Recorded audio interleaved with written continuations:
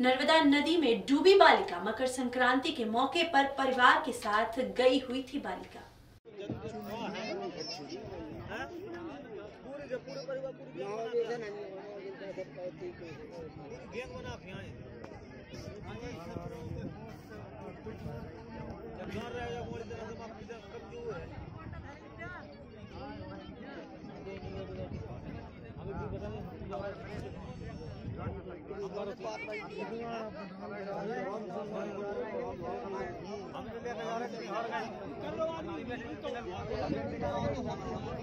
हम